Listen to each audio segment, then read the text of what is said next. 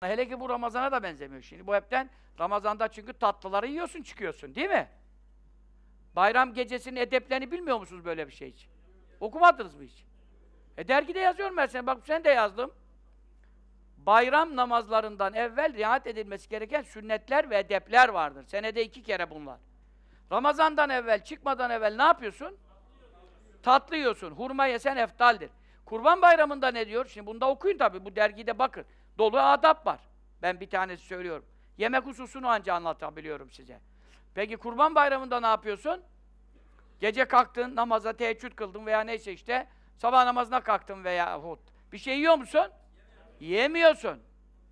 Öyle gidiyorsun. Onun için Ramazan'dan farkı var demek istiyorum. Kurban Bayramı'nda biraz daha hıffete riayet yani hafiflik ve kolaylık cemaatlara yapmak lazım. İnsanlar işine gücüne baksın.